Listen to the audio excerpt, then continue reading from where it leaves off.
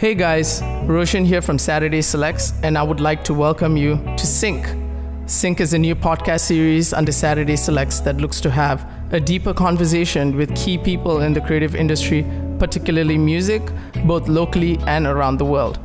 The mission of this podcast is to dig into the minds of those behind the scenes and on the front lines of our industry and understand why they do what they do and what makes them tick. Having been involved in the Malaysian music scene for myself for the past four years, these people have been major inspirations to a lot of my fellow peers and myself included. But before we begin, I'd like to firstly thank the amazing people at 10 Points Up for jumping on board and collaborating with us and helping us bring this series to life. Collaboration is key, and we're going to be speaking more about how important it is in every episode. Our guest today is a creative that is extremely passionate about his work.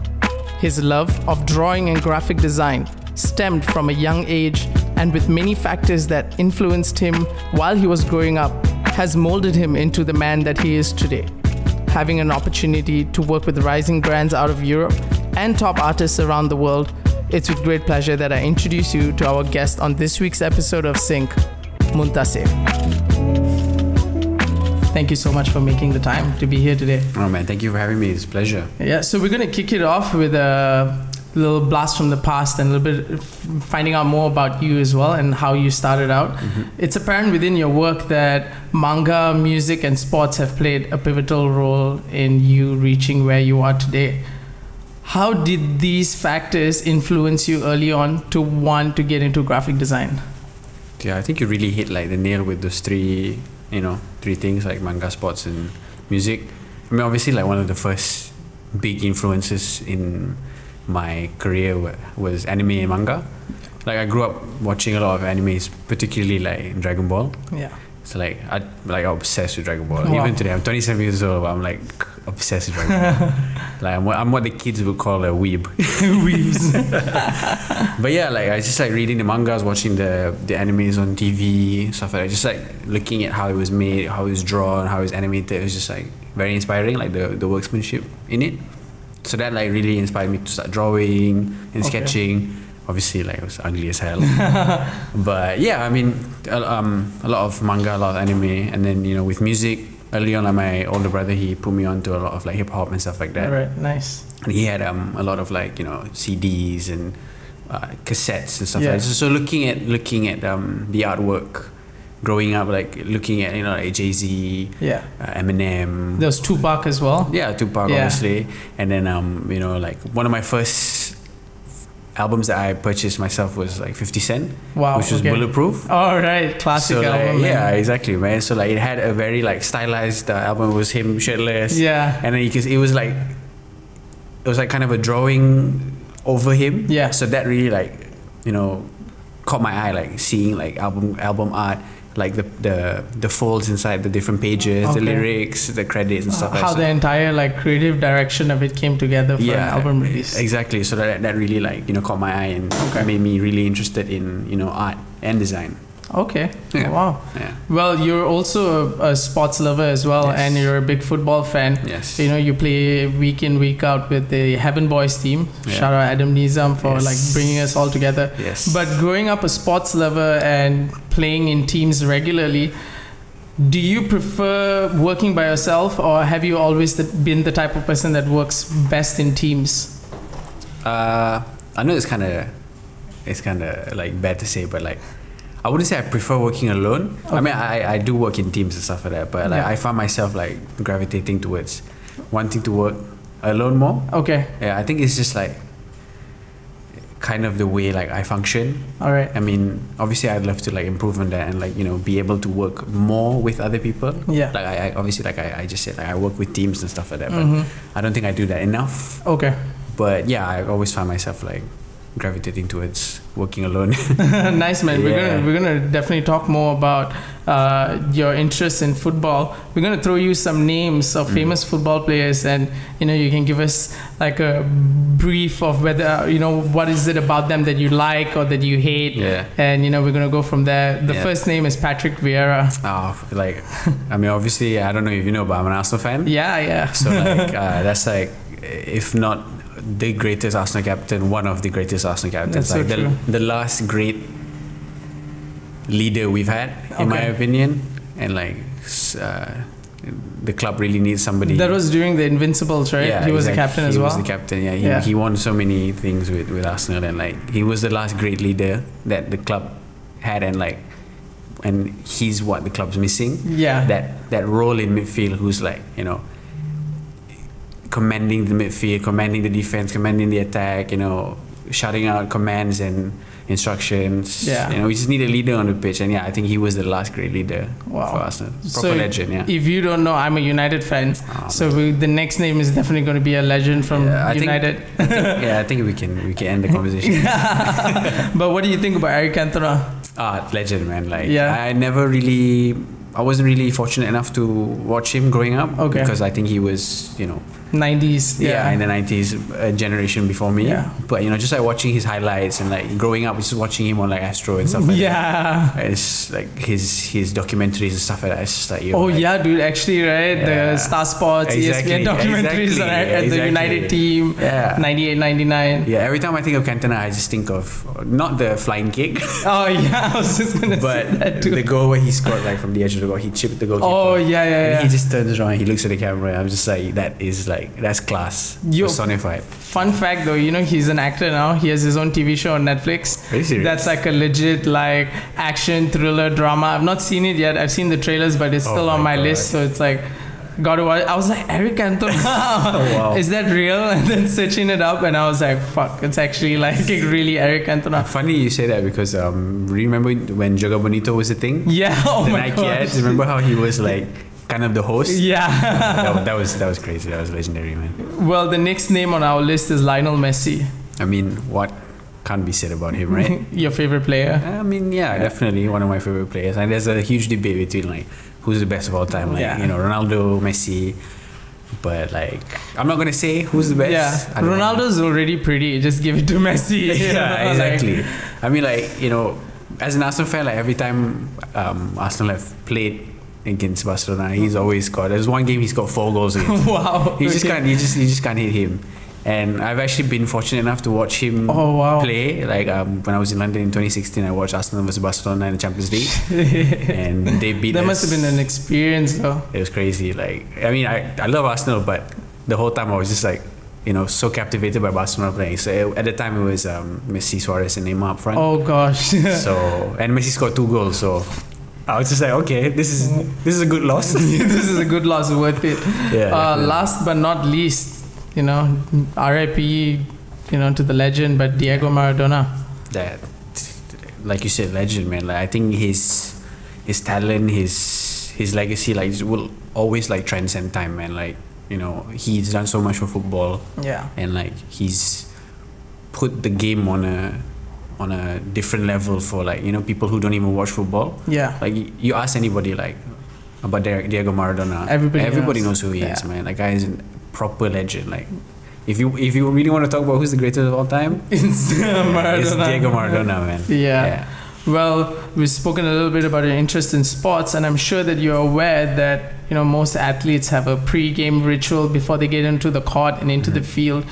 Yeah In your own experience, do you have any rituals that you do before you get into the groove when you're working on designs or sketching? Do you have a pre-game ritual? Um, I wouldn't call it a ritual. Okay. Yeah, I guess it's just like you know, the little things I do Yeah. when I'm when I'm working on like designs and stuff like Okay. that. So like um, a lot of research, a lot of sketching, Yeah. you know, and then trying out different concepts and Okay. then seeing where it takes me from there and then where I can tweak it and stuff like that. Okay. Yeah. So yeah, that kind of stuff. You know, listening to music. Yeah, you get Yeah. like your playlist ready, your drinks ready, so you don't have to like leave the table at all when you start working. Yeah, I gotta have a big cup of coffee next. Big cup of coffee. Yeah, exactly. All right, so we're going to talk a little bit about your your fashion, your involvement in fashion as well. Mm-hmm. Uh, you've been working on designing some pieces for a very famous Amsterdam-based brand called Filling Pieces, Yeah. and they've been seen on the likes of Snoh Aalegra, um, Jorja Smith as well. How was the process like for an individual like yourself that didn't come from a fashion background per se initially, and then have to assimilate into a working environment that's very fashion-esque? Yeah. And how did that affect your design approach? Uh, before that, like shout out to everybody at Filling Pieces. Yeah, man. um, it was it was very interesting because like when I first got the the opportunity to work with them, I first got the offer to work with them. I had known about Filling Pieces as a footwear brand. Yeah. So like when they approached me to help design like ready to wear, I was like, okay, that's that's gonna be interesting. So usually like a lot of the clothes that I've designed over the course of my life, uh, over the course of my career, Yeah. has been like you know small collections, individual pieces, nothing like proper. You know, Okay. you know what I'm trying to say? Yeah. But with filling pieces, they've they're, they've already established themselves as a pretty much a a, a large scale fashion house now. Yeah. So the process of working with them was completely new to me. Okay. Like going through like research, going through all the materials, the color charts, the the pantones, like so many details and you know little um, things that I experienced for the first time working with them okay. and like working on multiple collections a year it's just Oh, like yeah. open it's just opened my eyes and opened my broadened my horizon towards you know fashion and that that world so yeah it's definitely been very interesting Okay. What What is the one thing that you pulled away from your experience with filling pieces that was like that was completely different from your traditional graphic design approach that you were practicing at the time? Um That one thing, like you mentioned about the small details. yeah What was that one thing that kind of was it like the seams or the tags? i mean i don't i wouldn't say it's um for me like because i do a lot of just the graphics Yeah. so I, I don't really have to worry about like you know seams and the measurements Yeah. and stuff like that but like whenever i design stuff i just i i kind of go crazy with my designs Okay. when i found like my groove and i found like something that i've wanted to you know try to create Mhm. i just go crazy with it like Okay. knowing that okay this is my my vision i'm going to try and create something in that path right Yeah. but with Filling Pieces, like I can't really do that Mm-hmm. because there's a theme, there's like you know um, a story behind the collection, so I have to really like focus my design into that particular theme, that Okay. particular vision. You got to ideate, research around Yeah. that, and then Yeah. find things that would work. yeah, it's a lot more of that with them.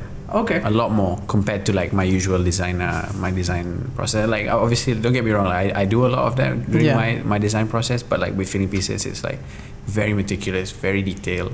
Okay. yeah very research heavy I can Yeah. imagine. Like, yeah do they plan drops like a year ahead? Like, how, Yeah. a year ahead. Like, like- that's how the schedule works. yeah so basically like they we design collections a year before they come out wow. and like, I just found that out found out about that like um about how f- like fashion houses work yeah. so they design collections like years in advance if not years in advance maybe like one year in advance or Wow. months in advance okay. so like we just um, recently finished um, autumn sorry spring summer 2021, 2021, yeah wow. so that comes out next next summer next spring Okay. Are you working on any, uh, like any pieces for that release? Yeah, yeah. So we, I, I've, I've worked with them since spring summer 2020.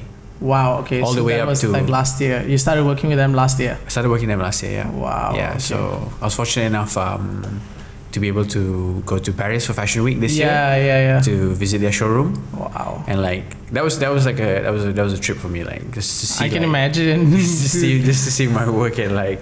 It, no doubt it wasn't like anything big, yeah. But like see my work at Paris Fashion Week and like just experience the whole like vibe of that Exactly. Like I can't of- imagine what. Paris Fashion Week must have been like. It was it was it was overwhelming, man. Like Did you meet any like celebrities or do you see any celebrities? yeah, like, I, I saw I saw a few people like um, so like Miguel, wow. yeah, like Ian, Connor. oh shit, yo, that's sick. I saw Bella Hadid at a fashion show. Oh, wow. Yeah. Wow. Okay. Yeah. I feel like Dutch brands are really like growing and really cementing uh, their place internationally among like many other fashion labels. Mhm. Do you have any other brands that is coming out of Amsterdam or Netherlands Yeah. that has caught your eye besides filling pieces? Um, yeah, I mean, when I was in Europe earlier this year, like uh, I was out in Amsterdam a couple of times to work with filling pieces, Yeah. and um, I found out about this brand called the New Originals. The new oh yeah. I found this brand called they have that uh, creatives are Yeah, the, the new new athletes, athletes, exactly. t-shirt yeah and the hoodies and like um, I went out for dinner with like a couple of friends and I was fortunate enough to meet the owner of the brand. Oh wow! And he, we were just talking. which I was introducing myself. He was Yeah. introducing himself. He was telling me he owned the brand. He was um, telling me it was the new originals, and he, and he was showing me like all the stuff they had. Yeah. And he showed me the the hoodie that said um, Creators of the new "Creative athletes. New Athletes," and it's just like I need was this. just like, I need this. So like the next day, I went and I, I copped the jacket. Oh, I copped shit. the hoodie straight away. Cause Wow. like that that phrase, "creatives are the new athletes," like really stuck with me. Yeah, dude. Actually, yeah. come to think, I've been trying to get it as well, but shipping was hella expensive to like come to Kia. you should have told me, man. Yeah. I was out there. you know. Next round, next round, next Yeah, round for sure. definitely. Are there any other brands or new originals? Is like one of Uh, the brands first to like keep an eye out. You know, like um, Patta as well. I Oh, really like Patta, Patta. yeah, yeah. So yeah, the new originals in Patta. I'm not really that familiar with other Dutch brands. So Okay. I can't really say. All right. Okay. Well, speaking on Amsterdam, we're speaking about major cities Mm-hmm. around the world, and we look at cities like New York, London, and Berlin. And when you look at the graphic design elements around the city, you know that that is the aesthetic of the city, Mhm. in a sense. Yeah.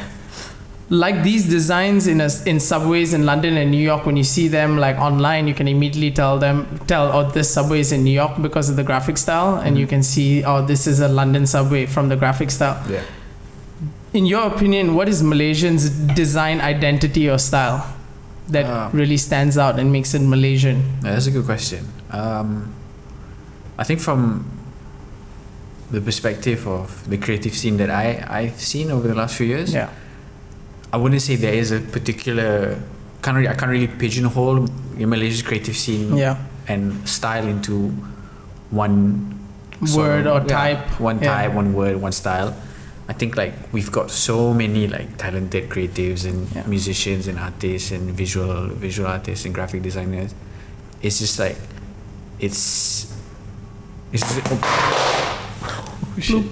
It's all right no problem um, it's just like it's like it's like an explosion of like creativity and like Yeah. you know different design styles Uh-huh. and then when they all come together it's just like it's just right it, Okay. it, it makes sense right if the, if you wanted me to like um, put it into words I Yeah. think that would be like the perfect what would be like the key elements that really stand out as a Malaysian design style that you haven't really seen anywhere else?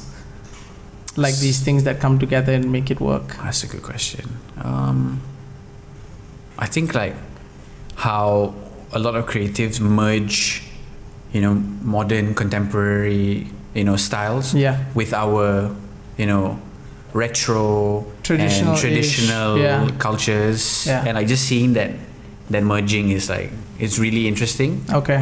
and like I wish I, I was as creative as some of these people like Okay, to, wow. to be able to like do that kind of stuff To but yeah. fuse the two ideas yeah and exactly. concepts like I could never think of something like that but yeah it's, it's amazing to see. Like I'm really like really really like proud and happy to see like you know the the creatives and you know the art that come that's coming out of Malaysia you know Yeah. it's, it's, it's really beautiful That's cool, man. You've also, you know, speaking of um working with filling pieces, you've worked with local brands like Against Lab and Yeah. Sneakerlah on some amazing design projects. yeah thank you How important is collaboration, especially in our local scene and industry, between creatives like yourself and local brands like Against Lab and Sneakerlah? I think it's, it's it's incredibly important. Like collaboration is is very important. It's key to like any brand, any creatives, um, you know, growth. Yeah, And like, um, just look at like um, Sneakerlah, like how they got a collaboration with with Asics. yeah, dude, the Twin Towers Yeah, were like- sold out. Yeah, and you just look at their their their journey from before. Like you know, it, it's they, they started off doing like conventions. Yeah. And everything was so localized. yep, And then now it's like a massive thing. That's, that's, it's, that's a huge thing to have Yeah. a collaboration with one of the biggest shoe brands in the world. Yeah, So like, you know, I think collaboration on a on a local level mm-hmm. will eventually lead to collaborations on an international level. Okay. You know, I still remember being at the first Sneakerlah at uh, I think it was Lot Sungai Lot Wang. Oh, Sungai Wang. Sungai. Wang, yeah, went to that upstairs, uh, like around Hoop Station, above the H&M. That's Lot 10. Yeah, Lot so at yeah, yeah. 10, yeah, Yeah. dude, that was insane. Like it was That's just crazy. pop-ups from local sellers, and you saw all kinds of like sneakers Yeah. and like t-shirts, rare t-shirts and rare col- uh, Yeah. collections. But you're a sneakerhead yourself. Yes. Do you have three of favorite shoes that is currently on your rotation? Um, all my sh- all the shoes I wear every day are Air Jordan. Air Jordans. so which Jordans So do you my vibe favorite, with the most? my favorite obviously is the Jordan One. yeah. Uh, I've tried wearing other Jordans, but they just make my feet look big. Especially the three. Like I love the three. I love the black cements. Yeah, dude. But like I've tried them on, but it just makes my feet look so big. They look like clown shoes on me. Clown shoes. But I think the, the Jordan one fits the best on me. Okay. So, and like growing up, like I've always had an affinity towards the Jordan one. Like Okay. seeing Jordan lace up the Chicagos and Oh, like yeah. the breads when he made his debut and stuff like that. Mm-hmm. And then growing up, like listening to Kanye West and when he was with Nike, Yeah. he put the the the the, the breads and the royals like you know on a on, a pedestal. on a pedestal Yeah, man. I- and I- brought it to a whole new level as yeah, well. I mean, like you you saw him like wearing like Givenchy like um tops and leather pants, and then with like Jordan one Jordans brand. It's just like yo, that's that's that's crazy, right? so like just growing up and like you know seeing all these these celebrities and athletes wear these shoes, Yeah. and then finally like you know as I progressed as a designer, being able to like afford these shoes, I was like, you know what, that's gonna be like my first pair. Of, the Jordan ones. yeah, the Jordan ones. Yeah. Yeah. Would you be the guy to wear a pair of Jordans to your wedding? No, I don't think so. no, you No. still gotta pull out like the dress Nah. shoes. No, I I'm not one of those like You're not one of those. one of those guys featured on like nice kicks and like high heels. Don't worry, man. I wear proper shoes. To Gotta get the. Nike Cole Haan just to you know complete the fit for the wedding. But um, you've worked with clients locally and internationally over the years, as we've mentioned. But to the budding graphic designer, what advice can you give them in broadening their clientele list to include more international clients? Because I feel like a lot of graphic designers have amazing talent here, Yeah, definitely. but they're stuck with only working with clients here. Yeah. Yeah. I mean, for me, I always get this question from like you know designers, and not necessarily even just from designers, just from you know everyday from random people. It's like saying, "How did you land a job with this person? How did you land a job with that brand?" Yeah. And like I wouldn't say there's a formula to it. Okay. For me, it's just like you put in the work, you put in the effort into your craft, into your skills.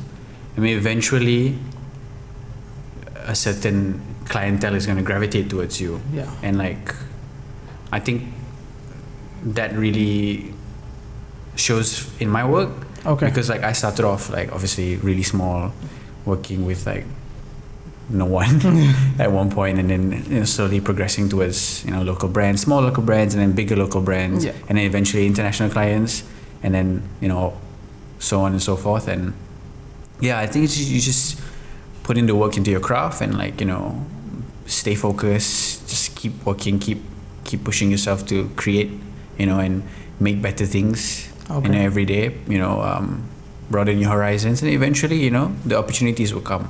So yeah, I mean, like a lot of people ask me, like, how did you, how did you get a job with that person or like that brand? It's just like, I can't really say there's a formula to it. you know? yeah, You know, I like, understand. I mean, I've been really blessed to to work with like some of the biggest like you know people in the world.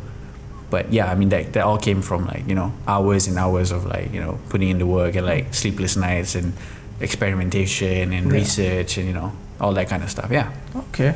You spoke a little bit earlier on how you met the owner of uh, New Originals Mhm. through a bunch of friends. Yeah. And uh, I think a lot of graphic designers in KL are introverts or quiet, you know. Yeah. How important is networking to really like help boost the possibilities of you getting an international client? Yeah, this is I, this is such an interesting topic because like I used to get like lectured by close friends of mine Okay. before, saying how networking is really important, Mm-hmm. and I, they would just like you know call me out for like not networking and like not doing my my utmost to like network with people.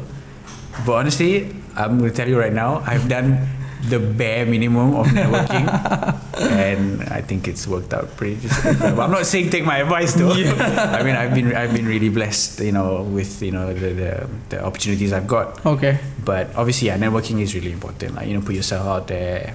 I think even if you're like too scared or too you know anxious to meet people in real life, like you know, that's why we have social media. Exactly. Yeah. And like one of the biggest pieces of advice I always give, you know, any creative is like, whatever work you have, like don't be afraid to like post it, yeah. or don't be afraid to show it to people, because like you never know what can come out of you posting a picture of your work. Yeah. For like, for example, like um, recently I I posted a picture on Instagram, Yeah. and um, it was a it was in a style that isn't usually my style. It was more an illustra- illustrative style. Like I, I've been doing illustration for a while, but over the last few years, like my work has been very graphic design heavy. Yeah. More digital. Yeah, more digital. So like I posted a, a digital painting Okay. that I that I did by hand, and I was just you know what, you know what, fuck it, I'm, I can swear on here, right? Yeah, yeah. yes. I was just like I was just like fuck it, okay, you know I'm just gonna post it, Okay. and so I posted it, and moments after I posted it, I landed a job with like one of like my favorite streetwear brands. Wow. Unfortunately, I, I can't share because like you know Yeah. I'm signed to an NDA and stuff like that. Okay. But like that really that that was one of the you know biggest like examples of my whole philosophy of just like don't be afraid to post whatever work you have. Yeah. Like at the end of the day, if you like it and you feel confident about it, Yeah. like just fuck it, man. Just show it to the world. Yeah. Like what's what what are you what are you scared of, right? If someone's gonna hate on it, okay, Yeah. whatever. But you feel good about it. At the end of the day, that's what matters. You know, it's not what people think about it. It's what you feel about your work. Okay. And if you feel confident in your work and you feel, you know, truly like passionate and happy with the work you put out, then yeah, just do it. I think a lot of the graphic designers are like just really afraid to put themselves out there. Yeah, definitely. You know, like whoop, and really afraid of criticism of their work. You know, yeah. like they just get into the shell and be like, oh, nobody likes my work. Yeah. You know, like and not. I guess that's just not like only graphic designers, but like photographers as well. Yeah, definitely. filmmakers Yeah. and music producers too. Yeah. Like it's just a sense of insecurity about their Yeah. work. Yeah. And all you gotta do is just put your work out there. Yeah. And there will be one person that fucks with it. Exactly. Just hope it's either a client or a brand, or even better yet, your friends and family. Yeah. I think that's like the Yeah. best su- support system you know that you can get as a creative freelancer. Funny that you bring that up. Like, um, like I want to elaborate on like two things from what you just said. Um, like, you post you post something and like, and some one person sees it and that one person is so touched by it and so captivated by it. It's like you you know you've you've done something right. Yeah. You know, so that that that gives you that sense of like belief and like confidence in your work. Yeah. you know just you just the fact that you were able to like change one person's life or like touch Yeah. one person's heart with you know something that you put out Yeah. and like another thing is like over the years I have always got people like DMing me and asking me like hey um, what are your opinions on my work like what are my opinions what are your opinions on this thing I made I'm just like it doesn't I mean like it doesn't matter what I think it's Yeah. what you think of it you know like so true. like I, I if I like it if I don't like it that's not that shouldn't like you know hinder your progression you know Yeah. like it, it should if I say I like it okay it, that that's good you know somebody likes your work if I say I don't like it okay take that as constructive criticism and like work harder to to put out better work Yeah. Exactly. but like yeah never let one person's opinion like you know completely like derail your you know your progression or your path down a certain you know Okay. Yeah, I feel like we need a Malaysian graphic designers Discord server for Yeah, I- everyone. We did. We, we had. We, ha- we have Oh, one. We have one. I think uh, it was. It was um, Safe House. Oh, with Safe House? Safe oh, House, yeah. yeah. Oh, with Alicia's uh, Yeah. design course and stuff like that. But it's, it's, it's gone quiet. I have, I haven't opened my Discord in like months. Ages, yeah. same here. Yeah. But um, you know, music plays an important part in your life mm-hmm. and in ours as well over at Saturday Selects. Yeah. And you've worked with some big name artists when it comes to album designs and merchandise mm-hmm. designs. And it's honestly really amazing to me and I think to a lot of people around me and our listeners that a Malaysian guy is designing stuff for like big artists like Drake and Kali Uchis, you know? Yeah. How does the music you're listening to affect your approach to design? Oh, it, it plays a big role. Like I, I find it really hard to like really get into the groove, get into the zone Okay. without listening to music. Uh, there are times where like I'm really overwhelmed with work and like deadlines, and I find myself not listening to music. It's just like like reflex. I'm just so focused on the work, Yeah. and I, I, find like I'm super stressed. I'm super like anxious about my work, Yeah. and I, I, I tell myself, you know what? Let me put some music on, whatever music it could be.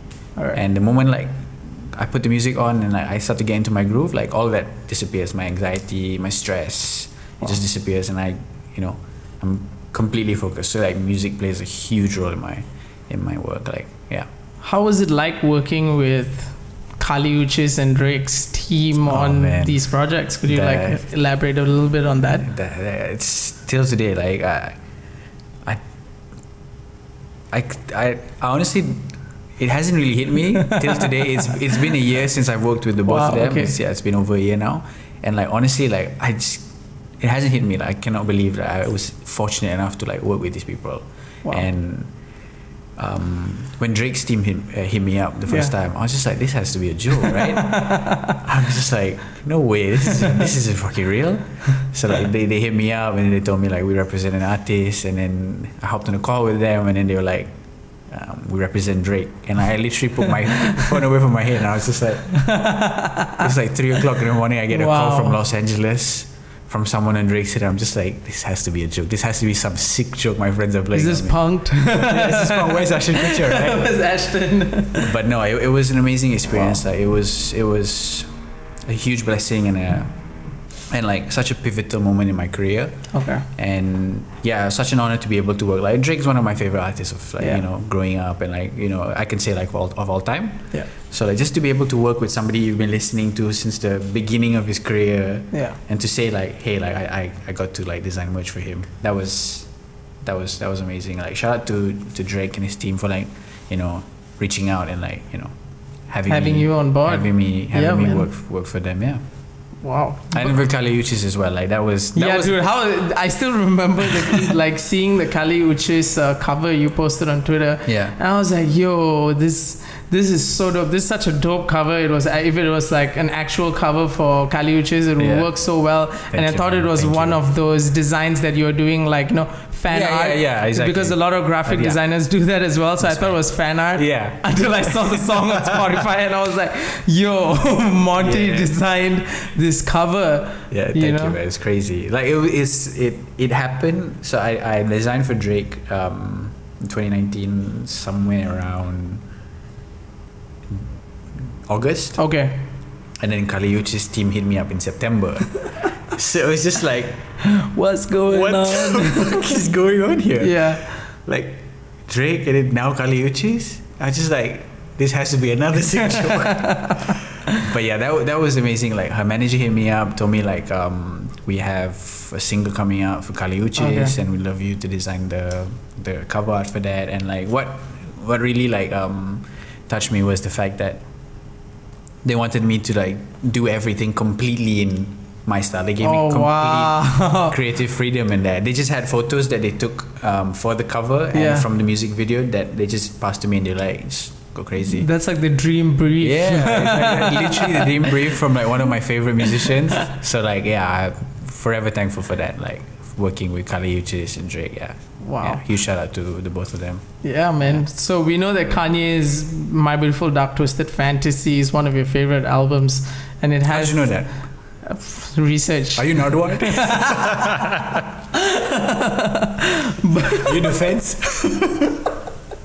I just know. but um, that album has a sense of timelessness to it that it's like you know he worked with. Um, Everyone. he worked with everyone, Everyone, man. on that album, and Everyone. you know his design direction. He worked uh, with. Um, Murak- was it Murakami? Murakami was Murak- graduation. Yeah, uh, Murakami was but, uh, graduation, my, beautiful twist, uh, my beautiful twisted out fantasy was uh, George Condo. Josh Condor. Okay. Yeah. Which, uh, if you could choose an artist album who's been out, you know, that is one of your favorites that you could have worked on, Mm-hmm. which album would it have been? Pop Smoke. Pop Smoke. oh my gosh, the Microsoft, uh, the, the paint no, design. Microsoft Paint. Yeah, Dude, I- Virgil designed that, right? exactly. The first one. Oh, the first one, and then they did the the, The second one. version. The second one was alright. Virgil, damn last minute. Yeah, last minute. yeah, but what would you have done differently in the Pop Smoke like art design? what would I have done differently? Um, I think not put the fucking barbed wire and diamonds on it, and you know have something. Obviously, it was a posthumous album, right? Yeah, And correct. He, he had passed. Uh, recipes to Pop Smoke. Um, so obviously, I would maybe do something that really like highlights Pop Smoke as a, a deity or like an angelic being or something like that. Okay, Yeah, wow. Yeah, not not barbed wire. Can we expect like a fan art coming maybe, soon, maybe, perhaps. maybe, Maybe. maybe if I have the time. Yeah.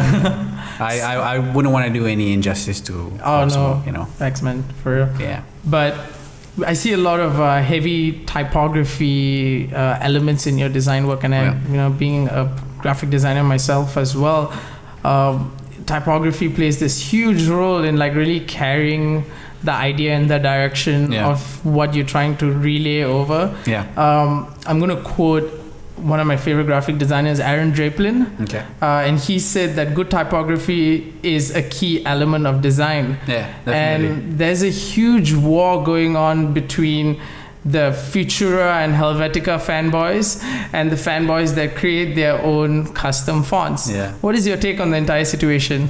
I don't want to be a part of it. yeah, I mean, like, it's not that deep. I mean, it's hmm. whatever you feel looks good, whatever you feel fits with your design. Yeah, I mean, if it feels right, if it looks good, yeah, and it's, you know, the proper, you know, way of using, yeah. you know, the set.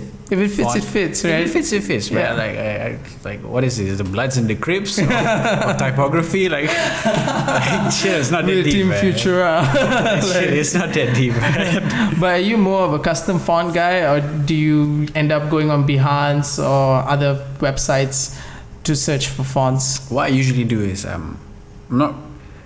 I wouldn't say like my fonts are like custom like hundred percent. Okay. Like there's just like modified version of like existing fonts, you know. Right. Okay. Like you know, I, I tweak this font and that font. I mean, I've I've I've dabbled in like creating my Own typography. own typography, but it's it's it's, it's tough. Dude, I can imagine. I used to have uh, friends in like design school who make their own like typography as homework, and I'm like, That's you're creating an entire new font. That's crazy. And- I I did um I created a custom typeface for one of my favorite like visual artists, Yeah. uh, Iman, Okay. for wow. her for her solo exhibition in Hong Kong. oh wow. and like just making the because I, I made I did the basically like the the visual Yeah. direction for the the the exhibition. yeah.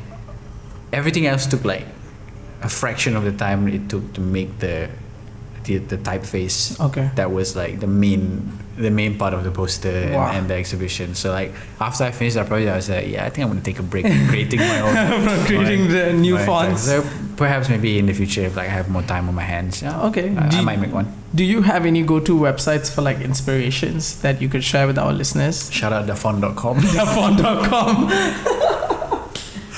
um, you know, like uh, I use Tumblr a lot. Oh yeah, dude, know- Tumblr know. is sick, man. Yeah, Tumblr is sick. I know a lot of people have gravitated towards like other, you know, Pinterest, Pinterest and stuff like like, that. but but I'm telling you, stay on Tumblr. yeah, dude, Tumblr's Tumblr. aesthetics is like on Yeah. a different level. Stay on Tumblr. Yeah, I use a lot of Tumblr. I mean, for like digital stuff like Tumblr, Pinterest, Google, that kind of stuff. But like, I have a lot of like design books, fashion books, music Okay. books at home. So like, just scrolling through that. Like, I, I've scrolled through like probably like the same book like seventeen thousand times already. Wow. But every time I scroll through it, I find something that I'm like inspired by. Okay. Which is why it's so important like for creatives to have like a a decent enough collection of like you know references. Yeah, references Especially like physical references. yeah physical right? references Yeah. you know it could be anything it just could be like uh, one of your favorite magazines you Yeah. know it could be a fashion magazine it could be like I don't know um, Harper's Bazaar or something but like, you know, you, might find something in there that you Yeah. know really catches your eye or something you know Okay, I I think Book Access in KL has like amazing Yeah. graphic design books, man. Like exactly I found a access. bunch of books at like fifty percent off, seventy percent off, like graphic go. design books, and there you go I think that's an amazing point of reference. So if you're listening in Yeah. and you're looking for a place to look for more design books, Yeah. photography books, film, music, Book Access has loads of these at like amazing discounted Yeah. prices. This is not sponsored, by the way. yeah it's I not just- sponsored by Book Access Yeah, I just think more people should visit Book Access because Yeah. I was at MCOP over the weekend and it was pretty empty. like, but but uh, Book Access is listening to this if you guys want to sponsor the podcast yeah yeah, be here. but I think uh, one key word to really describe your career so far as an illustrator and graphic designer is evolution. Yeah We see your work changing through the years and you're trying out different different styles. Mm-hmm. Has that been a natural progression for you or was trying out different styles something you force yourself to do every now and then? I think it's a little bit of both. Like obviously, like as I've grown as a you know, as a human being, as a designer, as a creative, like I've been more receptive to different things throughout Okay. the course of my life, and I've always wanted to try new stuff with my work. Okay. So it's been it's been a natural and sort of a forced evolution. Okay. Like I see something, I see a different style, I see another one. I just like you know, I want to try that. I want to see if I can implement that into my work, and I think that's just been my journey. Like Alright. trying new styles, Seeing implementing what it. works. Yeah, seeing what works, implementing it into my current style, Okay. and then you know, as I've grown, it just keeps going and going and going. And yeah, I mean, I'm really happy with where I've where I've come as a designer in terms Yeah. of like my style and my progression. So yeah, I think it also it's really important like for for creatives to like you know try to step out of your comfort zone. Yeah, that's so true, man. Yeah, if you're a graphic designer and you've always done something, you've always done your work on the computer on your laptop, right? Like Yeah. maybe try and sketch something Yeah. like that typography that you were going to put on the on the cover of that that um on the cover that you're designing maybe Yeah. try and sketch it out and put it onto the sketch it out scan it scan it in then put it into the cover you know it that And see if it works or not. see if it works and Yeah.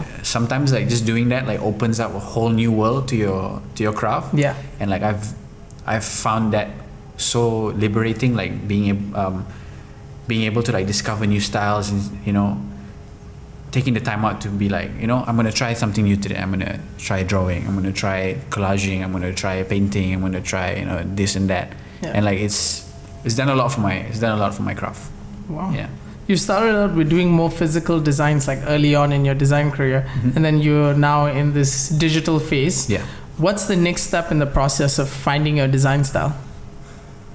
um, there are a lot of things that I plan on doing Okay. And I lately ever since I've been working a lot um, in the fashion world Yeah. especially with filling pieces like I have grown so uh, I've been so obsessed over clothing Okay. and like how it's made I just being in the filling pieces offices like earlier in the year just seeing their process seeing like samples seeing like how this is made how that's made the different print processes where they send it to what factory they go to is really like um, Eye opening. yeah, it's really eye opening. It's developed my my my interest more towards fashion now, Okay. and I definitely like to make my own clothes. Like, Nice, Not, not design graphics for the clothes, like Yeah. design the actual garments. Okay. And yeah. obviously, I, I don't see that happening in a while Okay. because it's uh, it's gonna take a long time to Yeah. be able to like you know design my own clothes. But it's So- an eventuality. yeah, it, yeah. Eventually, I like that. I like to do that. You know, I like to also do more like 3D stuff, like Okay. Wow. digitally and physically, like installations, sculptures, Right. and stuff like that. You know, hopefully one day, if you know, God willing, I have the chance, I'd like to have my own exhibition with like you know installations, Yeah. and, you know, three D objects, part of the the whole like um, atmosphere and experience. Wow, it's great that you mentioned that you'd want to do um, a, a physical exhibition or like and have an installation because I I love KAWS. Yeah, Like I'm obsessed with his story, not so much with the figurines, with the but figurines. Yeah. his story Yeah. and how he builds these Mhm. crazy structures. Crazy. Yeah, fucking massive. Yeah. And when I was in the Dubai, I think it was the Qatar airport. yeah, he's got an excellent installation. He's there. got massive KAWS statues like all over Doha airport, and I'm like, dude, this guy is like an American guy yeah. who has an installation in you know Doha airport. He's halfway across the world. He has a studio in Hong Kong as well. Mhm. He had an exhibition. But if you could pick a spot to have your first exhibition, where would that be? Like in KL? Uh, Would it be KL? yeah, yeah, it'd definitely Okay. be, it'd definitely be KL. Like, I mean, I wouldn't want to have my first one any Anywhere else? anywhere else. Yeah, but it's- where in KL would so- you pick to like have the exhibition? Oh man, that's a tough question. Like I I don't know. Yeah. I really don't know. Museum Negara, KL Pack, Planetarium. Museum, Museum Negara is- I mean, if, if it's possible. in Dataran la open open concept Why not, right? exhibition and not? installation Why not? just a massive statue Yeah. but um we're going to talk a little bit about how the past nine months has been for you Yeah. how how has how have you been both mentally and physically uh, on a personal level when covid hit until now I mean, first of all, like this 2020 has been like incredibly crazy. and, Yeah. like fucked up to say the least, right? Mhm. um, I've been fortunate enough to get through it pretty much, um, you know, un, unscathed and unharmed by the whole like pandemic. yeah You know, I've been been safe, been healthy. My family been safe, been healthy. It was it was tough at the start. It was tough at the start because I, I was in I was in Europe, um, right as the pandemic hit, and I had so many plans for traveling for work. Yeah. You know, I was going back and forth to Amsterdam to work with Filling Pieces. So I was really looking forward to that. I was really excited for all of that. But obviously, all that got cut short because like because of the pandemic, right? Yeah. And like, I was advised by like family to come home. Yeah. So I arrived home literally one day before lockdown. Wow. So Couldn't even get- couldn't even get like my head straight, my thoughts together. Next thing I know, I'm stuck at home for the next three months. You know, next Yeah. three four months, and that was that was a very interesting experience. Just like being alone. I wasn't alone, but I was with my family. But just being at home Yeah. and being in my room most of the time. That was that was interesting. Like I, I learned a lot about myself. I learned a lot about my mental health. I learned a lot about, you know, things that make my my mental you know my mental gears kind of you know work Yeah. and it was also good for my my career because like i had more time to focus on my own work Yeah. because it's literally just like it's nowhere to go Yeah. you can't go hang hang out with your friends you can't just like go out No, for a cup of can't. coffee you can't go for lunch for dinner Yeah. whatever. So like, it was just a lot of time spent focusing on my work, Okay. seeing where I can improve on, seeing, looking at things that I've done wrong in the past, like in terms of my career, and also like you know in my life, Yeah. like reevaluating a lot of stuff. Okay. So yeah, it was it was very interesting last nine months, Okay. but I think you know I've I want to say I've come out of it a better person. Okay. Yeah.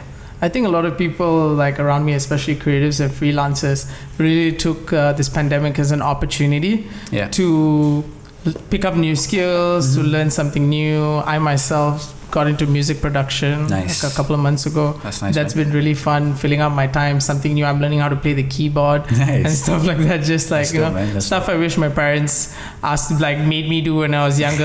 I'll, albeit I may have hated it when I was younger, but I really wish I picked up an instrument Yeah.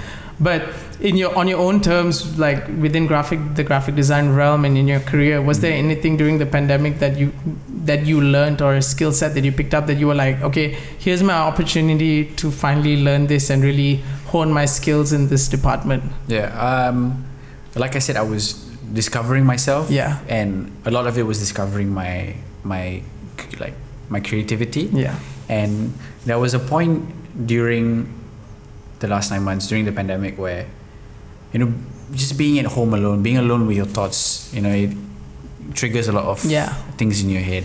And there was a point where like I wasn't happy with what I was doing, Okay. like the work I was putting out. okay Like don't get me wrong, I love my job yeah but I wasn't satisfied with you know my creative output. yeah So I was just like I need I need to do something about this. So Yeah. I, I told I told myself you know I'm gonna pick some pick up something that is completely foreign to me, okay well and I downloaded a 3D uh, 3D software. oh nice Yeah, okay uh, Blender because it was free. all right So I picked up Blender and I was just like, you know what? Fuck it, I'm just gonna I'm gonna try Blender out. I'm gonna watch like shit ton of YouTube tutorials. And like I spent like a good a solid good one month okay just working on like 3D stuff. And at the time I was working with Filling Pieces on what was it? Uh, Autumn Winter 2021. oh okay well And along the usual stuff I make for them, I Mhm. presented the 3D stuff that I had worked on during during Okay. lockdown. wow And they really liked it. oh wow nice and I was just like, nice, like okay, that's good. Like I spent a month, you know, com- uh, putting all my focus into Learning Blender. learning Blender, and it turned out for the better. Like you know, yeah it's gonna be used on on a, a clothing collection, okay which goes back to what I was saying about how how you shouldn't be afraid. To put your work yeah, out to there and show work out. people. Yeah, exactly. Like you never know what's gonna come out of it. Okay. Yeah. Wow. Well, before we end the conversation, uh, I just thought of this uh, question that I would love to ask you. If DBKL or MPSJ, as as the our local authorities come to you and be like, "Hey, we want you to brand our city, Okay. brand KL," Okay. you know, from a graphic design perspective, what would be the first thing you do, like from an environmental design aspect, or would you change the designs of Prasarana's goddamn LRT designs that haven't changed oh, in Yeah. ages. Like, what would be like the couple of things that you do to really give the city more culture and life through graphic design? I think I'd put quotation marks on everything. And barbed wires. and but boys and diamonds, nah, nah. But I think that that's, that's such an interesting question. That's that's like that's a huge task to take on. Yeah, because I watched this um, uh, abstract of design. Yes. And the one um, episode that really resonated with me that I can't remember her name was uh, she did the New York gallery design. Okay. Uh, the the Met. The she did the okay. Met I didn't watch that design, one, and yeah. then um, she's very heavy on environmental designs, like just massive white walls and just huge fonts. And then she did the directions on all the beaches as well around Ah. New York, and I was just like, wow.